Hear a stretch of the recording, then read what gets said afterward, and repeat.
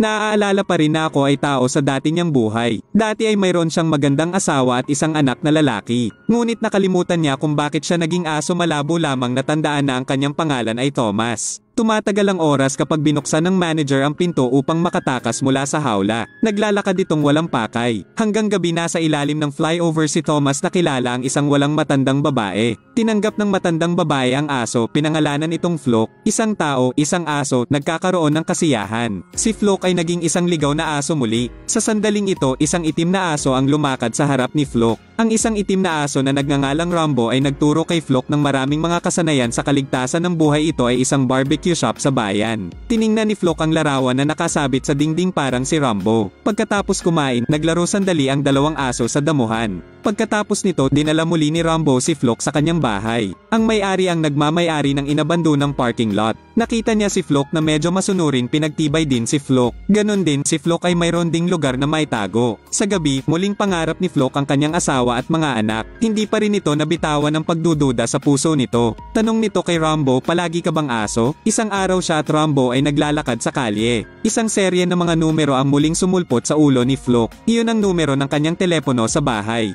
Kaya ginamit nito ang mga kuko nito upang i-dial ang numero upang tawagan ang numerong iyon. May isang babae sa kabilang dulo ng telepono. Ang pamilyar na tunog ay hindi nakaupo pa rin kay Flock. Sinabi nito kay Rambo gusto niyang hanapin ang kanyang pamilya. Ngunit hindi sumang-ayon si Rambo sa diskarte ni Flock, nagalit pa. Kapag umalis ka na, huwag ka nang bumalik. Ngunit hindi pa ito nakakalayo, ito ay naaresto. Sa oras na ito ay dinala ito sa lab. Plano ng mga siyentista na gamitin ang mga mata ni Flock para sa paghugpong sa katawan ng tao. Sa ngayon din dumating si Rambo. Sinira nito ang pintuan ng salamin at pumasok sa laboratorio direktang nakabunggo sa kawani ng pananaliksik. Pagkatapos ay pinakawalan nito ang lahat ng mga bihag na hayop ginamit ang kanyang bibig upang alisin ang mga bono sa katawan ni Flock. Ngunit ang mga mata ni Flock ay pansamantalang bulag. Hinayaan ni Rambo na kumagat sa kanyang buntot at sabay makatakas. Naririnig ng isa pang lalaki ang paggalaw agad na humantong ang bantay tumakbo sa ibabaw. Parehong tumatakbo sa damuhan sina Rambo at Flock. Nagalit siya at kinuha ang baril ng gwardya at nagpaputok. Inakay ni Rambo si Flock sa isang sapa sa kagubatan. Ito ay ligtas sa wakas at nakahiga ito sa lupa.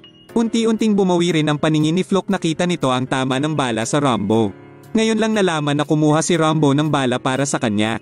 Dinidilaan ni Flock ang sugat ni Rambo ngunit hindi pa rin mapigilan ang dumadaloy na dugo sa katawan ni Rambo. Bago umalis sa wakas ay sinabi ni Rambo kay Flock ang kanyang sikreto. Ang lalaking nasa litrato sa barbecue shop ay siya pala. At ang may-ari ng tindahan ay ang kanyang kapatid. Kaya't kung muling nagkatawang tao palagi siyang nagbabantay sa tabi ng kanyang kapatid. Matapos mamatay si Rambo ang mga alaala ni Flock ay bumalik na parang tubig. Sa wakas ay bumalik sa kanyang bayan sa kanyang dating buhay. Dumating si Flock sa gate ng isang paaralan. Nasa sabik siyang maghintay para matapos ang pag-aaral ng kanyang anak. Ngunit kung tumingin ka sa kaliwa o kanan, hindi niya makita ang kanyang anak.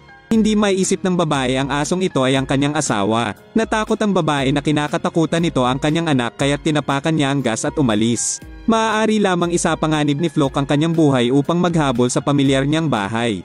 Mabilis siyang tumakbo upang kumatok sa pinto gusto niyang papasukin siya ng asawa sa bahay. Ngunit hinailan ng asawa ang kanyang anak mula sa loko na asong ito. Tumakbo ulit siya sa labas ng kusina pinagmamasdan ang pagluluto ng asawa. Tumingin ang asawa agad itong bumagsak sa lupa na kunwaring cute. Kapag ang isang batang lalaki ay kumakain ng bigas, siya ay tumayo sa bintana mahirap tingnan ang kanyang anak. Nakiusap ang anak sa kanyang ina na papasukin si Flock upang kumain. Ang asawa ay tumingin sa mahirap na aso sa labas malambot pa rin para ipasok ito. Pagkatapos ang asawa ay hindi lamang pinakain si Flock pinagtibay pa si Flock. Pinaligo nila si Flock sa hardin nakatingin sa tatlong tao na masayang tumetawa sa hardin. Kaya oras na upang maglaro ng mga laruan. Sinadya nitong itago ang isang maliit na tao sa ilalim ng mesa. Nakita ng anak ang kilos ni Flock at medyo naguluhan. Kasi ang tatay niya, ganoon din ang ginagawa dati.